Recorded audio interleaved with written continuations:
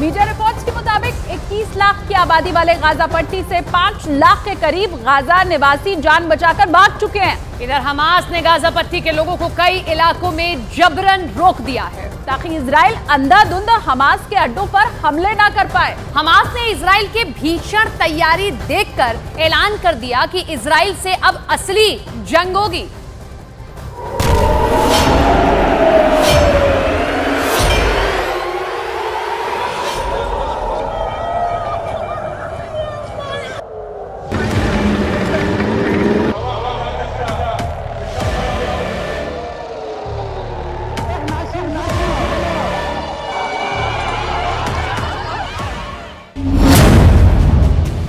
Hamas की military wing ने कहा है कि वो गाजा में इसराइल के जमीनी हमलों से निपटने में माहिर हैं। हमास के मिलिट्री विंग कासेम ब्रिगेड के प्रवक्ता अबू ओबैदा ने कहा कि हम अपने रक्षा के पहलुओं पर तैयारियों को फिर से दोहराते हैं जमीन के जरिए दुश्मन पर कार्रवाई करेंगे हमास नए घातक और खौफनाक विकल्पों को इस्तेमाल करने के लिए मजबूर हो रहा है जिसकी वजह से इसराइल को बड़ा नुकसान होने वाला है इसराइल जमीन पर हमास से नहीं जीत पाएगा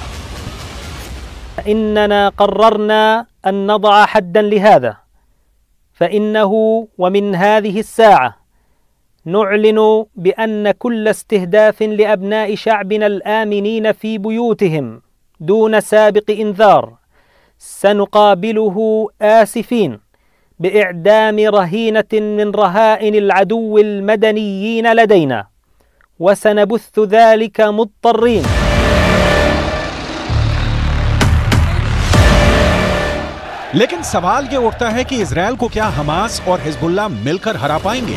क्योंकि इसराइल की मूसाद और शिन बेट खुफिया एजेंसियों ने न सिर्फ़ गाजा, बल्कि ईरान, लेबनान और सीरिया पर भी हमले का पूरा प्लान तैयार कर लिया है। मूसाद के खुफिया इनपुट के आधार पर इजरायली सेना ने एयर स्ट्राइक में हमास के कमांडर वाइल अल जार्द को मार डाला है। इसके अलावा हमास का दूसरा top commander Jawad Abu Shamala भी मारा गया है। हमास का कमांडर जकारिया अबू मैम्र भी मारा जा चुका है।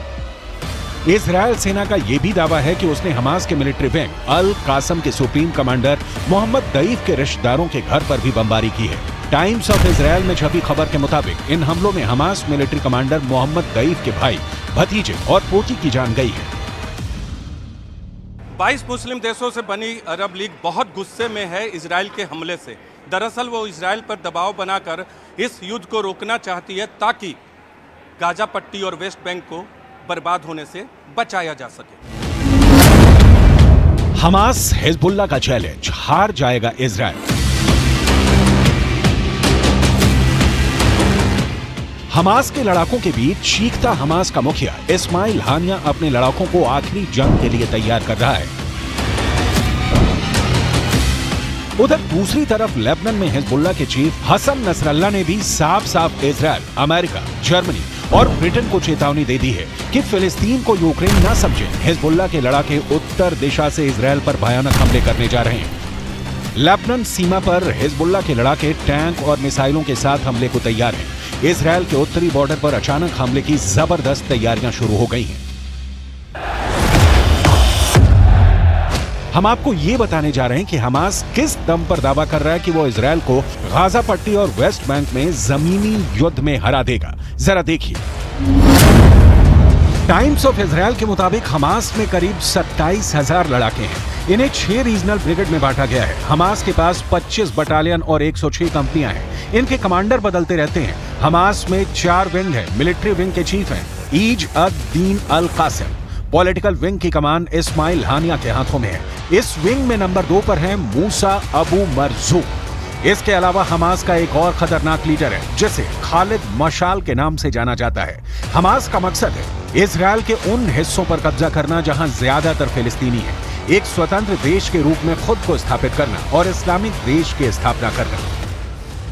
इसराइल ने गाजा पट्टी को पूरी तरह से बर्बाद करना शुरू कर दिया है। इसराइल ने हमास को कड़ी चेतावनी देते हुए कहा है कि गाजा को तब तक खाना पानी और बिजली सप्लाई नहीं मिलेगी जब तक कि हमास इसराइल के बंधकों को छोड़ नहीं देता। कुल मिलाकर इसराइल 24 घंटे में उत्तरी गाजा को पूरी तरह से रौंदने जा रहा है। अब देखते हैं कि इसराइल के इन हमलों का सामना हमास और उसके समर्थक कैसे करते हैं।